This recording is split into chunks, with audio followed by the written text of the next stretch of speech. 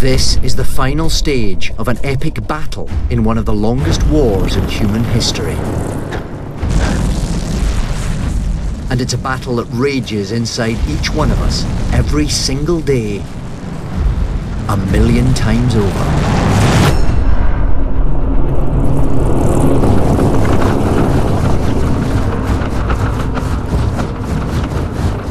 These are the shattered remains of a single human cell, destroyed by an ancient enemy.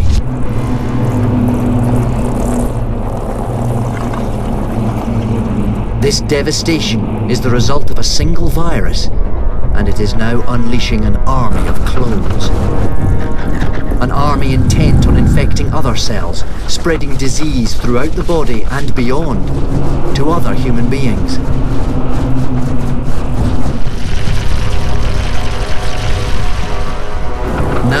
Scientists are exploring this once invisible world and revealing in more detail than ever believed possible the life and death battle for a human cell.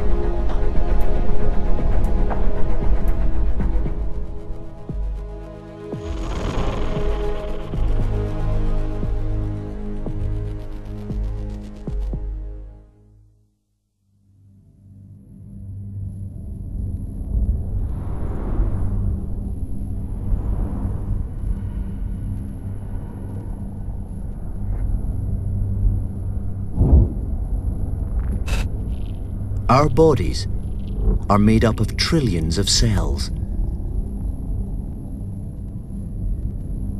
So tiny that 40,000 can fit on the head of a pin.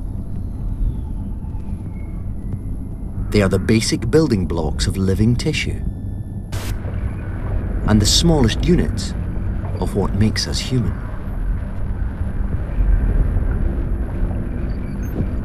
And yet,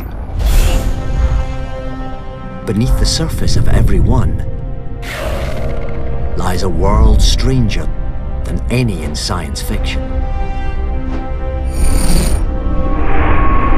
A world in which a billion microscopic machines all play their part, working in concert through every second of our life.